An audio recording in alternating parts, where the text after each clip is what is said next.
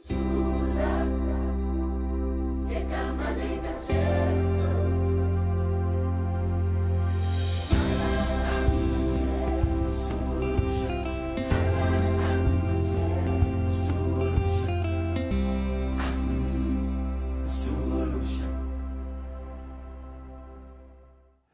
very good day to you and welcome to Shalom. Welcome to the farm. Welcome to Snowy. He's having a bit of a sleep here on his feet. I'm just so looking forward to sharing with you just for a few minutes. You can see we're totally relaxed because the rain is falling out of the sky. Nice, gentle, heavy drizzle, turning into rain hopefully after this program. Folks, I'm totally rested at the moment. I want to speak to you about being too busy. Too busy. It's a very, very big problem. We go to Mark chapter 6 and verse 31. This is Jesus speaking. And he said to them, Come aside by yourselves to a deserted place and rest a while. For there were many coming and going, and they did not even have time to eat. Verse 32 So they departed to a deserted place in a boat by themselves. That's why that's what I love about Jesus Christ so much. You know, folks, you see how concerned he was for his disciples. No one else said that, it was only him. Come aside. Come and rest a while. Maybe God's saying that to you, madam, to you, sir. Maybe you need to just come aside. You say, Angus, I can't afford to.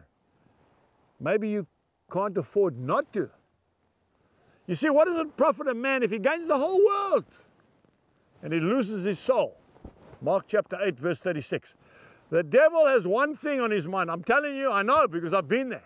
He wants to get you on that treadmill and he wants you to keep going as fast as you can and as long as you can until you die. I spoke to a very dear friend on the phone the other day. I haven't spoken to him for many, many years. And we got speaking and I said, I'm sorry, I haven't seen you for a while. And I've been so busy. That's right. And he said the same. Angus, man, I just often think about you and I'd just love to be with you, but I've been so busy. And we were talking about this busyness, this treadmill that we, we're all running on in this life. And he said he looked up the meaning of busyness in the Chinese language. And busyness has got two meanings. The one meaning is hard, and the other meaning is annihilation, to be totally destroyed. Heart, annihilation. That equals the word busyness in the Chinese language. So when you get too busy, what happens? Your heart dies. You get so busy, see, that you come out of that shop and you've got an old man there and he's been looking after your motor car so that no one steals it. He's called a car guard in South Africa. You don't ignore him. As you're getting into your car, you take out um, a, a, a few dollars or whatever it is and you give it to him as a gift. You start up the ignition and you just reverse that car right out the way. You don't even greet him. You don't say, hello, sir. You don't look at his face. You don't even know what he looks like. You're so busy. Well, that's a major problem, folks. Because that man might want to chat to you about something. Maybe eternal life. See?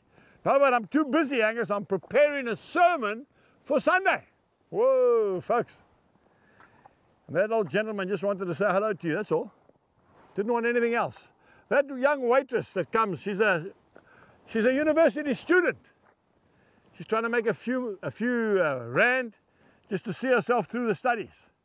You're so busy with your business deal that involves millions this young girl, all she needs from you is just maybe 50 bucks just to see her through. But you forget because you're too busy. And you get up and you nod and you walk out. Big mistake. God does not like that. I want you to know that. That little child that's standing by to greet you. It's happened in my own life. Got to get you on the stage, Angus. The men are waiting for you. You've got to speak to them. This little boy just wants his photograph taken with Uncle Angus. God forbid that I walk past him. Because I reckon if I walk past that boy, I'll have nothing to say when I get on that stage. We need to be careful we don't get too busy. Till next time, goodbye. For more information, please visit angusbuchan.com.